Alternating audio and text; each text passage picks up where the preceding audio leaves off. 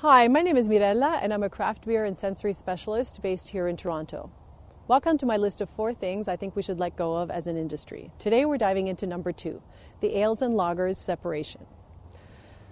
This actually bothers me on two levels. The first one is the fact that we still feel we have to divide beer into these two categories. I'm guessing the instinct to divide beer neatly into two comes to us from wine, which is traditionally separated into red and white. But here's the thing Dividing beer into ales and lagers is not an effective way to communicate flavor categories to beer drinkers.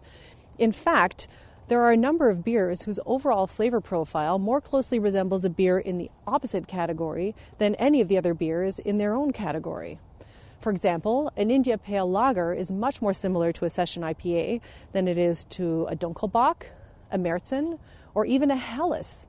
The underlying issue here is that beer is much more varied than wine by nature of the fact that it is brewed with more ingredients. It absolutely cannot be divided into two categories.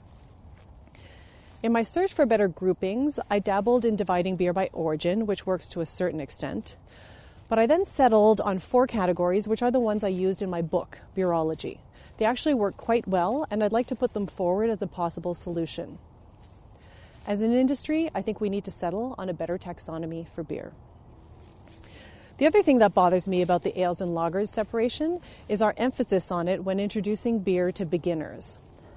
Here's the thing as a brewer, it's important to make this distinction early on, but as a beer drinker, not so much. Understanding the difference between ales and lagers is not a critical tool in starting to understand your palate and which beers to select. Like the brewing process, the ale versus lager talk is better suited to a beer drinker with a little more experience who's looking to expand their knowledge and their understanding of flavors.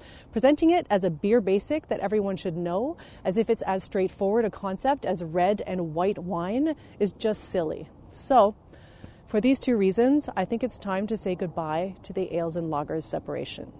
Thanks for watching, and I hope you'll join me for video number three.